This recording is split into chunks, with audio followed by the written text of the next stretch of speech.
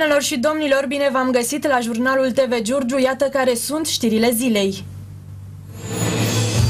Florian Nicolae este candidatul PNL la primăria Giurgiu.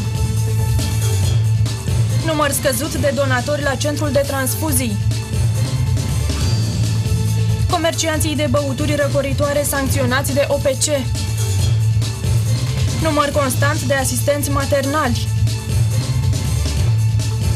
Meci spectaculos al Astrei în play-off-ul Europa League. Deputatul de Giurgiu, Florian Nicolae, a demisionat din PSD și a ales să facă parte din echipa PNL Giurgiu. Mutarea a fost parafată azi în prezența secretarului general al PNL, Marian Petrache, și a celor doi copreședinți de la Giurgiu. Oficial, Florian Nicolae este candidatul PNL la alegerile din 2016 pentru funcția de primar al municipiului Giurgiu marginalizat de PSD după ce a contribuit esențial la câștigarea alegerilor locale din 2012. Deputatul de Giurgiu Florian Nicolae consideră că proiectele sale politice și cele care vizează dezvoltarea municipiului și județului Giurgiu nu pot fi duse la bun sfârșit dacă rămâne alături de socialdemocrați. Prin urmare, după o lungă perioadă de negocieri, Florian Nicolae s-a înscris în Partidul Național Liberal, o decizie așteptată și salutată de susținătorii săi. Mutarea de pe scena politică giurgiuveană a fost parafată azi în prezența secretarului general al PNL PNL Marian Petrache și a celor doi copreședinți de la Giurgiu, Dumitru Beianu și Gheorghe Ștefan. Este un moment uh, care pentru mine reprezintă o răsplată pentru ultima perioadă, în care nu puțin ziariști, nu puțin actori politici importanti au încercat să acrediteze ideea că PNL merge pe o pantă descendentă, că nu reprezentăm o platformă care să acumuleze oameni valoroși, proiecte pentru Giurgiu fie că vorbim de municipiu, fie că vorbim de județ. PNL, pentru ceea ce își propune ca și obiectiv anul viitor, pentru ceea ce își propune ca să vină în, în fața legăturilor cu proiecte coerente și realizabile, trebuie să câștige și primăria municipiului Giurgiu, să păstreze și președinția și majoritatea în Consiliul Județean.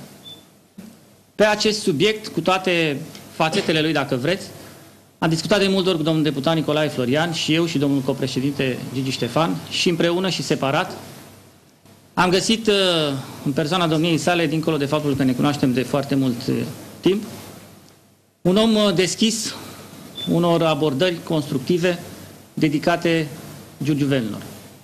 Venirea domnului deputat Nicolae Florian de astăzi în rândurile Partidului Național Liberal reprezintă pentru noi un prim cap de pod în ceea ce privește câștigarea alegerilor locale de anul viitor. Aproape toți dintre dumneavoastră m-ați întrebat în conferințele de presă și în emisiuni când vine și dacă vine domnul Nicolae Florian la PNL. Astăzi, uitați-l, este aici, v-am spus de fiecare dată că mi-l doresc și îl doresc și mi-l doresc primar al municipiului Giurgiu. Am de plină încredere în domnia sa, l-am apreciat pentru tot ceea ce a făcut până acum, pentru modestitatea și onestitatea cu care a făcut politică, pentru modul în care și-a construit o companie și sunt convins că va fi un foarte bun gospodar al municipiului Giurgiu. Am discutat de mult cu domnul deputat despre această intenție, am așteptat momentul prielnic, Sper că dincolo de o candidatură cu șanse foarte mari la primăria Giurgiu să ne aducă și liniște de care avem nevoie. Îmi doresc ca cei doi copreședinți acum când avem un candidat cu șanse foarte mari la câștigarea primăriei Giurgiu să înțeleagă care este miza jocului, să trecem peste orgolii, Deși pentru Florian Nicolae trecerea la PNL nu a fost o decizie ușoară, motivația o reprezintă interesele comune ale giurgiuvenilor și nu cele personale. Florian Nicolae a declarat că deși a făcut parte dintr-o echipă mare, cum este cea a PSD-ului, a rămas singur atunci când a venit vorba de dezvoltarea unor proiecte majore în beneficiul giurgiuvenilor. Trebuie să continuăm ceea ce s-a făcut bine în activitatea politică a Partidului Național Liberal în Giurgiu, să respingem stările conflictuale, să procedăm la incluziunea tuturor membrilor de partid și a celorlalți simpatizanți ai partidului, ci să nu să-i marginalizăm, să avem încredere în noi și împreună putem să avem uh, o reușită atât la nivel municipal cât și la nivel județean pentru uh, alegerile locale de anul viitor. Mi-a fost foarte greu să iau această decizie de a demisiona din uh, rândurile Partidului Social Democrat, dar uh, trebuie să punem înaintea intereselor noastre interesele comunității pe care o reprezentăm. Iar uh, de unul singur am considerat că nu pot participa la implementarea unor proiecte majore pentru urbea noastră și bineînțeles că consider reconstrucția unei echipe unite din partea Partidului Național Liberal o consider o victorie și un câștig pentru urbea noastră.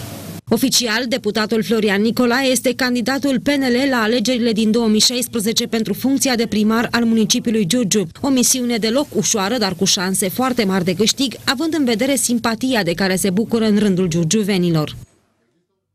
Renovarea recentă a centrului de transfuzii Giurgiu nu influențează numărul donatorilor din această perioadă. Oamenii nu se înghesuie să doneze în timp ce spitalele din București au mare nevoie de sânge. Zilnic, în medie, șapte donatori se prezintă la centrul din municipiu. Holul centrului de transfuzii Giurgiu nu mai este la fel de aglomerat ca în alte luni. Numărul scăzut de donatori e pus și pe seama perioadei de concedii, dar în general giurgiuvenii nu mai sunt interesați să doneze sânge. Zilnic, în jur de șapte persoane vin să doneze, în timp ce spitalele au mare nevoie de sânge. Există solicitări de la Spitalul Giurgiu și uh, solicitări de la spitale din București, unde sunt uh, internați giurgiuveni. Se prezintă atunci familia, prieteni, cei care vor să ajute. Chiar și în condițiile unui spațiu renovat, numărul donatorilor nu este mai mare. În afară de clienții fideli, sunt puțini cei care aleg să treacă pe la centrul de transfuzii pentru a dona pentru prima dată. Medicii de aici spun că au existat cazuri în care anumite persoane nu au fost acceptate ca donatori, pe motiv că donarea nu ar fi făcut bine nici celui care dona, nici celui care primea sânge. Ca de fiecare dată este lansat un apel celor care sunt apți din punct de vedere medical să doneze. Cred că toată lumea e convinsă și dacă nu e convinsă, putem să le aducem aminte și să le sublim încă o dată că sângele înseamnă viață. Deci, venind aici, aveți șansa să dați viață semenilor. 40 de operatori economici din județul Giurgiu ce comercializează băuturi răcoritoare au fost controlați în luna august de comisarii de la Protecția Consumatorilor. Amenziile aplicate în cazul celor care nu au respectat legea depășesc 100.000 de lei.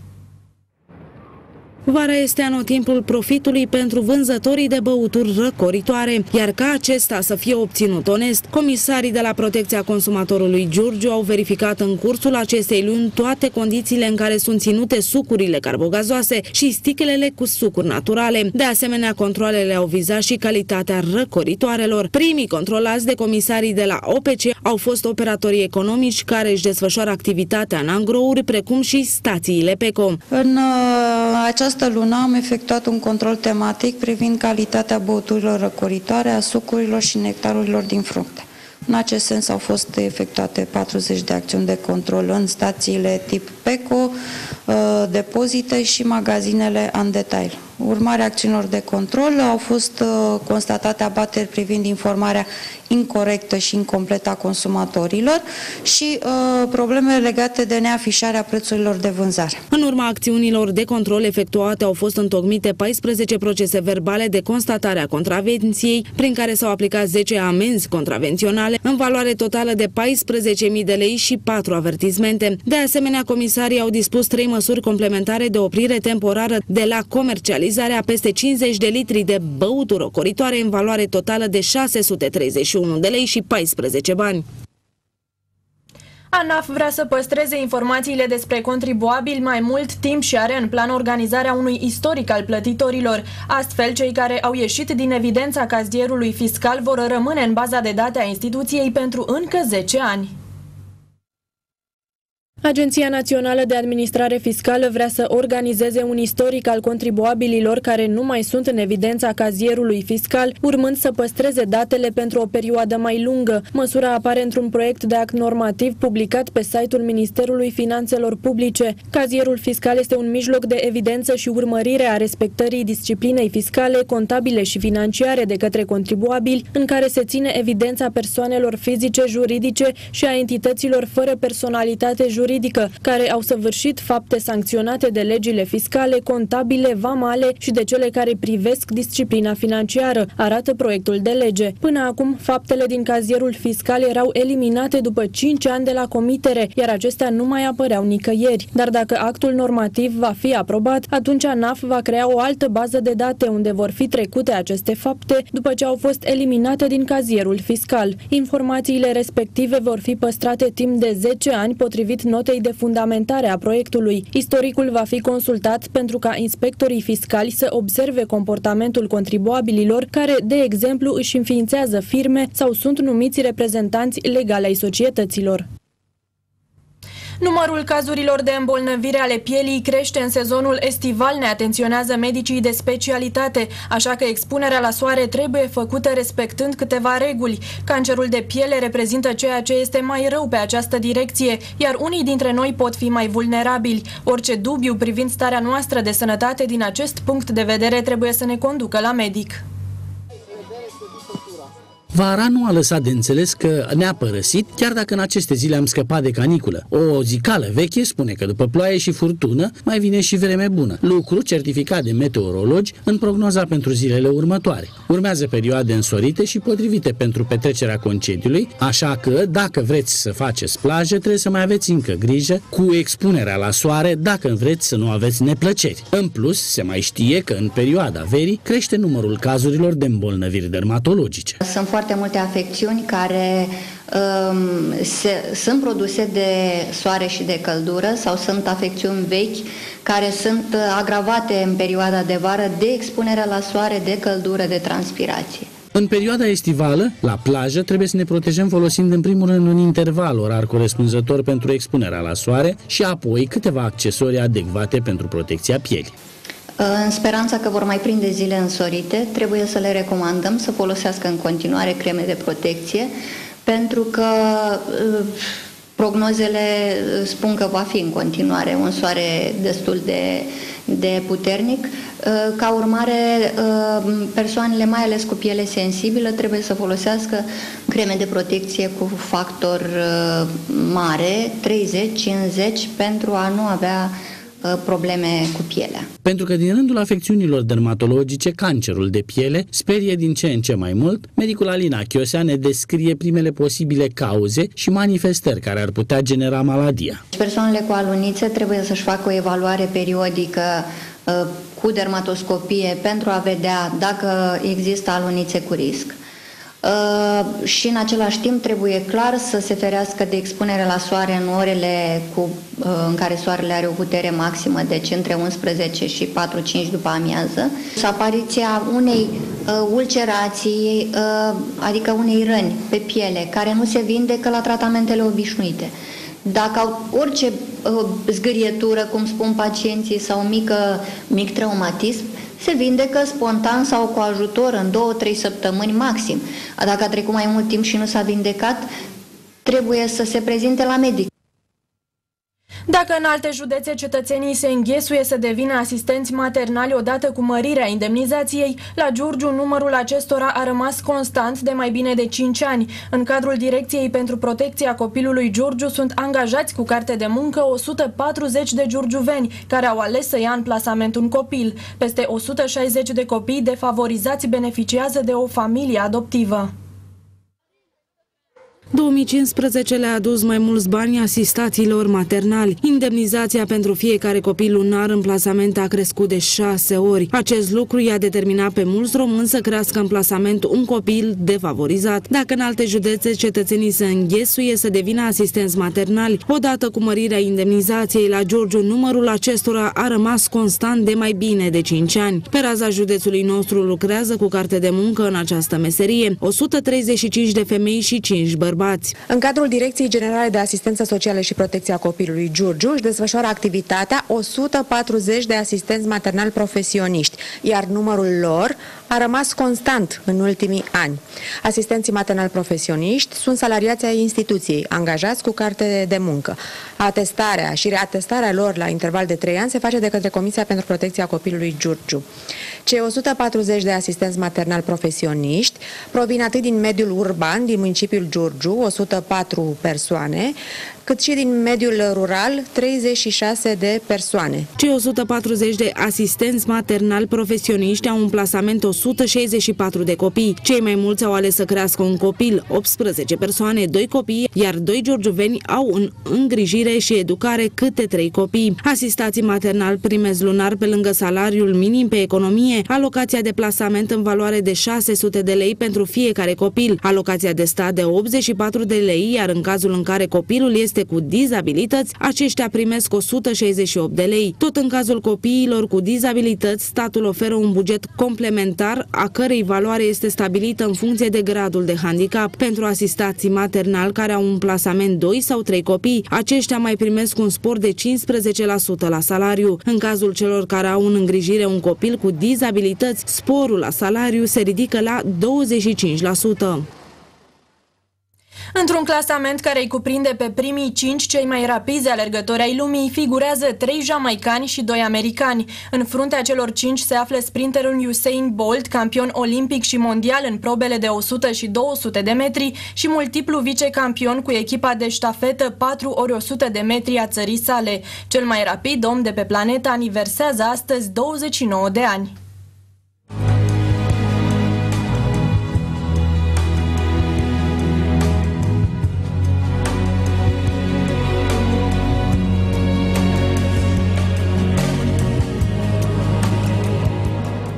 Usain Bolt este tânărul jamaican pregătit în atmosfera extraordinară a arenelor în care atletismul poate fi și el considerat rege, măcar atunci când se recunoaște că dă lumii cei mai rapizi alergători. Jamaicanul născut pe 21 august 1986 deține prima poziție în clasamentul celor 5 cei mai rapizi alergători ai lumii, dintre care doi atleți sunt americani, iar ceilalți trei, inclusiv sărbătoritul de azi, vin din țara insulară a Mării Caraibelor, în care capitala este stabilită la Kingston. Cu un fizic apropiat de perfecțiune când este vorba de raportul înălțime-greutate, Bolt are 1,96 m la 96 de kilograme și deține recordul mondial în proba de 100 de metri cu timpul de 9 secunde și 58 de zecimi, un record stabilit la Berlin în 2009 la campionatul lumii, în care unul dintre redutabili adversari i-a fost compatriotul său, Paul. Iubitorii atletismului își reamintesc atmosfera de pe stadion, cea în compania căreia,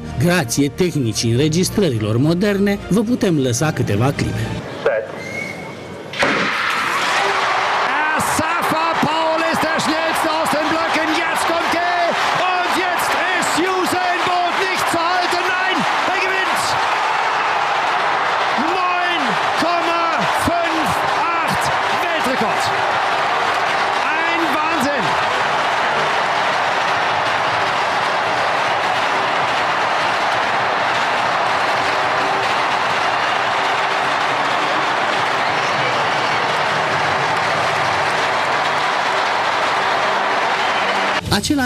Usain Bolt deține medaliile de aur în proba de 200 de metri la Jocurile Olimpice de la Beijing din 2008 și Londra 2012, recordul jamaicanului pe această distanță fiind de 19,19 secunde. În ceea ce privește proba de ștafetă 4 ori 100 de metri, echipa jamaicană, cu sprinterul cel mai rapid în componență, deține de asemenea recordul mondial cu timpul de 37,10 secunde. Sigur că tot în dreptul lui Bolt mai trebuie puse titlurile de vicecampion mondial de junior la ștafetă 4 ori 100, Kingston 2002, ca și aurul mondial de la Sherbrooke din 2003, ori câte alte performanțe care ne spun că Usain a întrecut prin rezultatele sale bariere care nu se credeau a fi depășite curând de actuala condiție umană.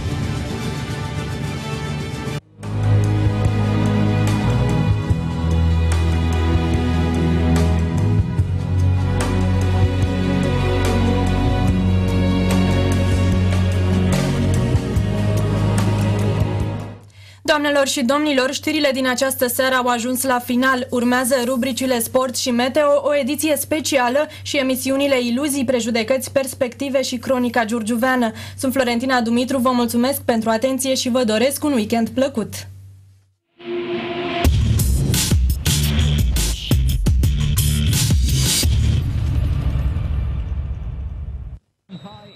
Meci de infarct aseară pe Marina Anastasovici, Astra versus Azi Alkmaar, în partida tur din play-off-ul pentru calificarea în grupele Europa League. Partidă în care Astra pornea la joc cu șansa a doua, iar antrenorul Marius Mudică spera într-un 0-0, scor cu care Giurgiu veni să pornească în avantaj în partida retur. N-a fost să fie așa, olandezii controlează începutul partidei și marchează în minutul 11 prin Herringson. Giurgiu veni nu își revin și sunt prinși iarăși pe picior greșit, iar scorul este majorat la 2-0 în minutul 13 prin Janssen. De aici începe dominarea Astrei și elevii lui Șumudică pun stăpânire pe minge. Udescu execută un corner în minutul 25 și Boldrin renaște speranțele echipei noastre, marcând cu capul. Centrale periculoasă lui Budescu și este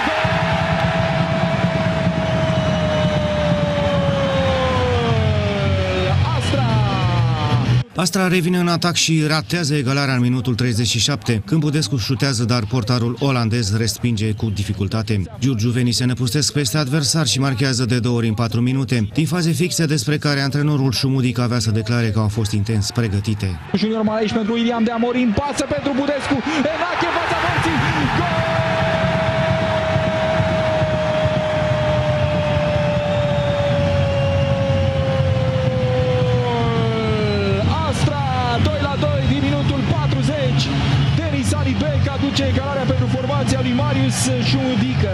După egalarea lui Alibec din minutul 41, Giurgiuvenii marchează iarăși trecând în avantaj prin Alexandru Dandea, care l-a înlocuit pe Boldrin accidentat. Este 3 la 2 pentru Astra la pauză și repriza a doua se joacă la fel de deschis cu faze la ambele porți, dar scorul rămâne neschimbat. Astra obține o victorie meritată, revenind ca o echipă mare în fața unui adversar foarte puternic, după ce fusese condusă cu 2 la 0.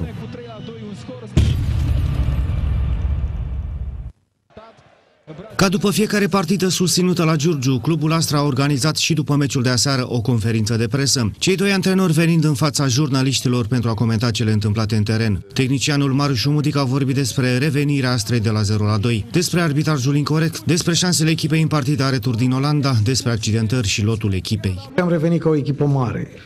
Să revii de la 0-2 și să faci 3-2 până în pauză din trei faze fixe, uh, care Cred că v-ați dat seama și dumneavoastră că sunt lucrate și le mulțumesc jucătorilor că nu ne-am chinuit degeaba de când a început acest campionat și am lucrat împreună. Știam că la faze fixe sunt vulnerabili. Iată că a ajuns și clipa când uh, ceea ce facem la antrenament apare în joc. Au fost pentru mine încă o dată eroi, niște băieți minunați, având în vedere că joacă din 3 în 3 zile. Șumudică s-a arătat nemulțumit de arbitraj și a sugerat că va organiza o conferință de presă pentru a se adresa forurilor internaționale de arbitraj. E greu să mă înșel la ochi și la nas, așa, miros. Minutul 5 11 metri cât casa la de Amorim, cât casa. Altceva este dacă încep de la 1-0.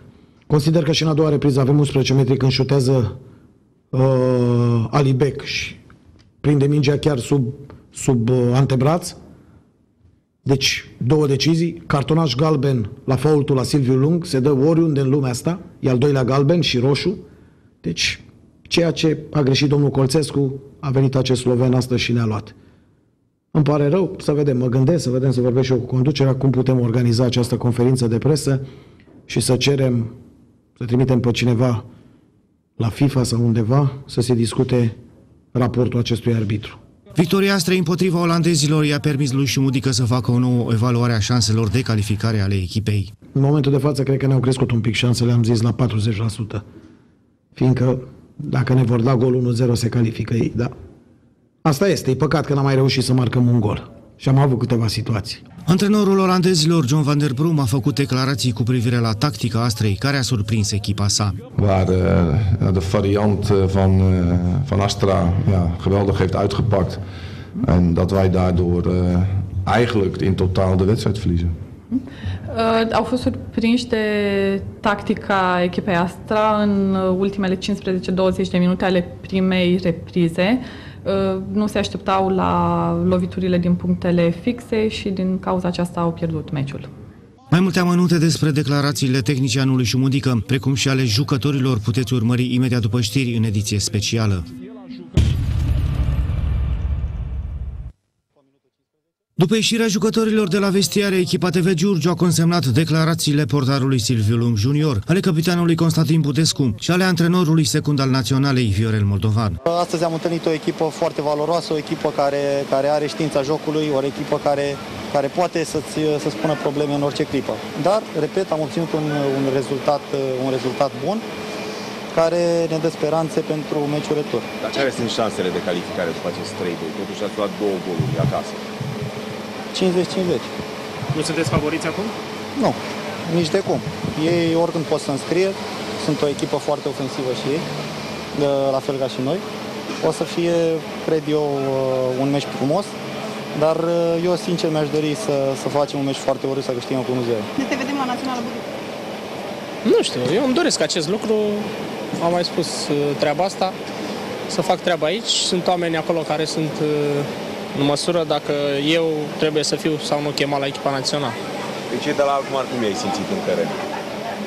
O echipă foarte bună, organizată, pasează foarte bine și o să avem un retur dificil acolo. Am venit să văd uh, jucătorii care sunt în vederele noastre, mă refer aici la Silviu Lung, la Găman, la Enache, la Budescu, la Alibec.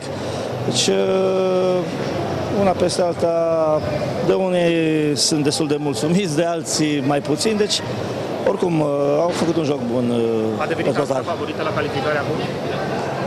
un rezultat care îți dă posibilitatea de a merge mai departe, dar trebuie să uh, reușești să-l menții acest rezultat în deplasare. Va avea un meci dificil, dar au șanse. Mai multe amănunte despre declarațiile făcute după partidă, imediat după știri în ediție specială.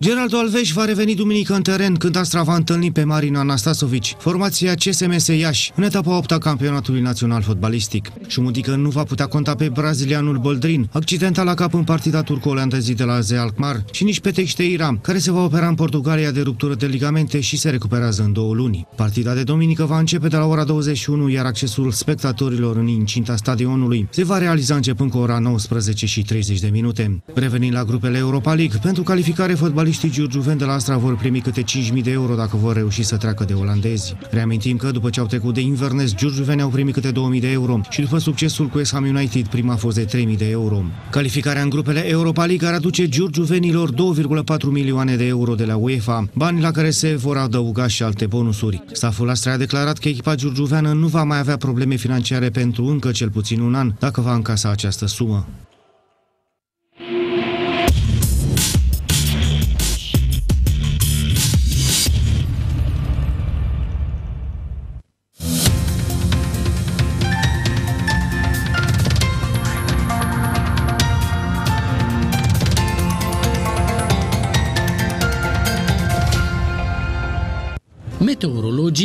Anunță că vremea va continua să fie răcoroasă și va ploua până la finalul săptămânii, urmând ca de luni să înceapă procesul de încălzire. Sâmbătă, vremea va fi în continuare rece pentru această dată în cea mai mare parte a țării. Cerul va fi variabil în regiunile nord-estice și va prezenta norări în restul teritoriului. Temporar va ploua în jumătatea de sud-vest a țării, unde și cantitățile de apă vor fi izolat mai însemnate și pe arii restrânse în celelalte zone. Temperaturile maxime vor fi cuprinse între 16 și 25 de grade Celsius. Sâmbătă la Giurgiu se vor înregistra 19 grade la Bolintin Vale, Mihailești, Ghimpații, Zvoarele, Hotarele și Comana și 21 de grade la Giurgiu. Duminică, vremea va continua să se încălzească ușor, astfel că temperatura maximă se va situa în jurul valorii de 25 de grade. Cerul va fi variabil cu unele înnorări ziua, dar condițiile de ploaie vor fi restrânse. Vântul va sufla slab și moderat. Temperatura minimă va fi de 12-14 grade. Duminică, în județul Giurgiu se vor înregistra 24 de grade la Bolintin Vale, Mihailești, Ghimpați, Izvoarele, Hotarele și Comana și 25 de grade Celsius la Giurgiu.